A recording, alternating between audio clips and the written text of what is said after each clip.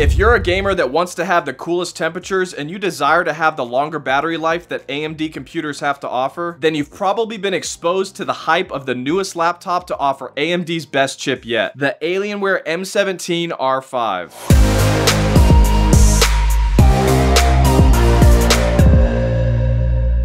Is it time to toss my old M17R3 and replace it with this one? You may have already seen my more fun and entertaining unboxing video of this laptop, but this video is the serious one that'll help you decide if it's actually worth buying. Keep watching for my take on the design and build quality, display quality, performance benchmarks for both creators and gamers, sound quality, a look at the internals, actual battery life, quality tests on the speakers, the webcam, internal and external thermals, fan noise, pricing breakdowns, and comparing it to its competition, my overall top pros and cons, and now finally VR tests as well. There's a lot of really important information to unpack with this machine, so please watch the whole video before making up your mind on purchasing this very expensive computer. But if you already know a lot about this machine, feel free to skip around the video using the timestamps. Now price-wise, this machine starts at just under $1,600 for the all-new AMD Ryzen 7 CPU and only a 3050 Ti GPU, but the maxed out version that we got with the all new AMD Ryzen 9 6900HX processor, a 3080 Ti GPU, and 32 gigabytes of 4800 megahertz of DDR5 RAM costs a whopping $3,000. Now, the closest equivalent Alienware X17 R2 with an Intel processor, that machine costs about $3,600. There's several reasons for that though, and we'll talk about that here in a sec. And right now, the closest equivalent MSI GE76 that you can actually get right now is $300 $100 more than that at $3,900. As you may have seen in my review video for that machine though, the speed and bells and whistles of that laptop are insane, so it kind of deserves a higher price tag. Design and build quality. Now, when it comes to the design of this laptop, I think that Alienware did a fantastic job aesthetically. We'll get to functional design here in a sec. The dark side of the moon material on Alienware laptops I've always found to be very premium looking. It's a very soft matte black material that reflects light in a pretty appealing way. On the top of the lid, we've got a nice glowing Alienware logo right there in the center, complemented by a large embossed stenciled reflective 17 there in the corner. And beneath that, the most bold and attention-grabbing portion of this design, the iconic RGB Tron bar wrapping around the ports and hexagon ventilation. Upon opening the lid, you're greeted with even more animated RGB, a rather large touchpad, and more hexagon ventilation there at the top edge. This touchpad was pretty comfortable to use and gave us some smooth feedback, but this plastic material didn't feel as premium as that glass touchpad that I got spoiled with on the X17 model. But the build quality overall was pretty solid. Screen wobble and screen flex was pretty minor. The screen hinge was a little stiffer than I prefer though, and made opening and closing the lid with one finger just a little awkward. The chassis itself is pretty sturdy though and has a nice weight to it, and also has very minimal flex. Now, when it came to the keyboard, I opted for the Cherry MX mechanical keyboard that you also saw me test on the X17 models. The tactile feedback, satisfying clicks, and excellent travel distance makes it my favorite keyboard when it comes to the feel of it. It's also the loudest keyboard though, so keep that in mind if you need something more discreet.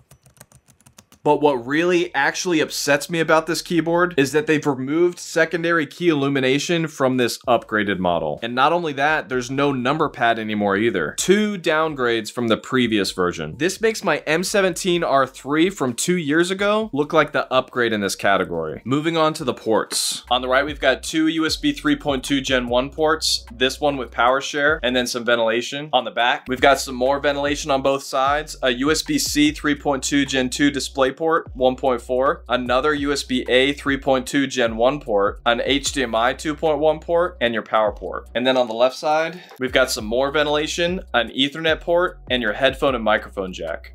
Now moving on to the internals. So right here we've got our two main chassis fans, our Wi-Fi card right there in the middle, our two sticks of 4800 megahertz of 16 gigabyte DDR5 RAM sticks for a total of 32 gigabytes, and then our two SSDs. The max you can go here is 6 terabytes total, and then there at the bottom are massive 97 watt hour batteries sandwiched in between two pretty tiny little speakers. So how well did this battery perform? At 50% brightness in battery saver mode, with volume all the way down, a 60 hertz refresh rate, Optimus on, and RGB effects turned off, we only got three hours of HD streaming. And with those same exact settings, we only got four and a half hours with our idle and web surfing tests. And it took a full two and a half hours to recharge back to 100%. These numbers were very underwhelming, and it leads me to believe that there was something wrong with my battery as my Intel machines, which typically perform worse with battery, actually performed better than this machine. I've seen other reviews too with much better results than this, so I'm gonna assume that it's an isolated incident. So how about the sound quality? At 80 decibels, it was just as loud as the other gaming laptops, and I'd say the quality was just slightly above average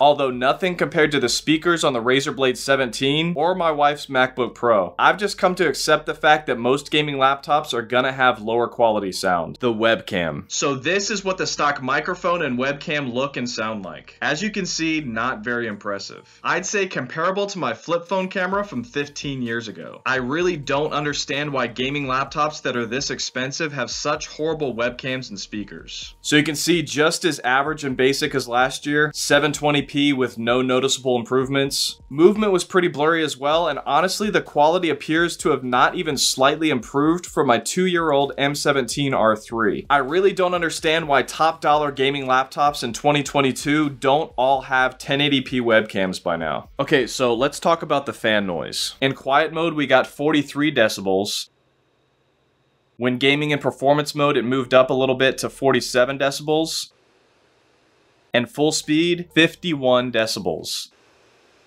This was a couple decibels higher than the other gaming laptops that I've tested when in quiet mode, but for full speed and performance, it was actually about 4 to 5 decibels quieter. Yes, it is great and all that these fans are pretty quiet, but did they actually do a good job removing heat and keeping the computer cool? Externally, the laptop did not feel very hot compared to the others. The touchpad and the palm rests were relatively cool with the majority of the heat understandably in the upper vent area, and just like most gaming laptops, a lot of the heat escapes out the back, so that portion was pretty warm as well. And I know it looks pretty hot on the bottom in these thermal tests, but that's more looking past the external metal chassis and into the internal temps. The bottom metal did not actually feel that hot in my lap despite these numbers. And you can see here that temps only in the 80s by the side fans means your mouse hand will still be comfortably cool during heavy use. Temperatures in gaming were pretty impressive as well. Keep in mind this graph for CPU temps isn't exactly comparing apples to apples as all these machines are 12th gen i7 processors, and this machine's Ryzen 9 is more comparable to i9 processors. Ryzen 9s and Intel i9s are always going to be the hottest CPUs. You can see that the MSI GE76 was actually the lowest here in a majority of the games. Even more so in our 4K tests, the i7 GE76 absolutely shined above the rest. So much so that it actually justified me trying out the i9 version of the GE76 as well. You can see here comparing those two at 4 4K resolutions that they were actually pretty close to each other. Half of the games were cooler on the i9 MSI GE76 and the other half cooler on the Ryzen 9 M17R5. When it came to the GPU temperatures, the M17R5 did even better. It had the lowest temperatures on a majority of the games with our 1080p tests and the lowest in almost every single game when we tested it in 4K. But the big question you're all wondering, how well did it actually perform at those cooler temperatures? Which leads us us to performance and gaming benchmarks. For Geekbench 5, we got a single core score of 1521 and a multi-core score of 10,351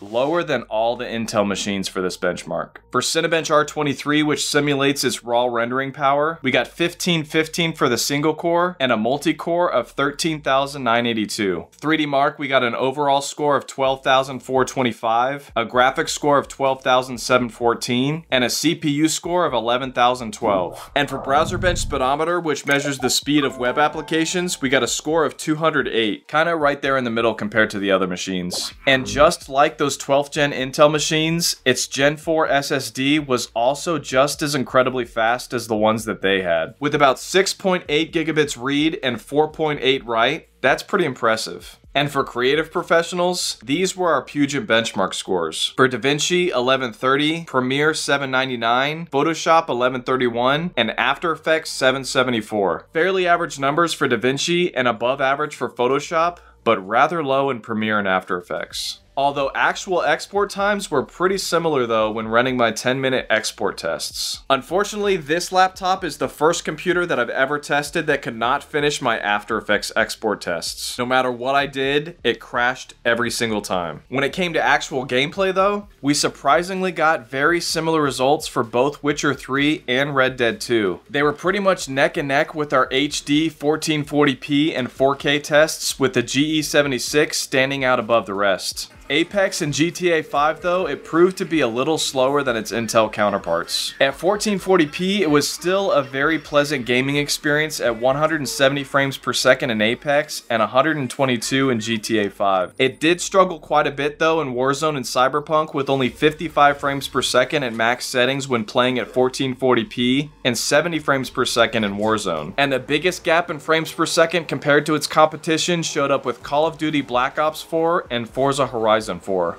You can see that playing a game at HD settings was the largest difference with it getting closer and closer as we increase the resolution. Since all these machines have i7 processors, here's a more fair comparison showing how big of a difference this Ryzen 9 machine is compared to an i9 MSI GE76 at 1440p. The i9 MSI GE76 absolutely crushes this machine in pretty much every other game. One thing that was kind of interesting, for both Call of Duty and Forza, the CPU CPU was using very little power with just sporadic jumps to 40 watts every now and then. And I double checked multiple times and the computer was definitely in performance mode. So I'm not quite sure why those games were seemingly unstable with this machine. It does only have a 240 watt power brick as opposed to the Alienware X17 and MSI GE76 with 330 watt power bricks, but it still should be consistently using more than 15 watts with those games. The games that push the power of the CPU to its max performed much closer to its Intel competition. It may just be some sort of issue with my specific computer because people commented on my unboxing video that their CPUs were running the correct amount of power on those games. Consistently, not sporadically. But how well did it do in VR?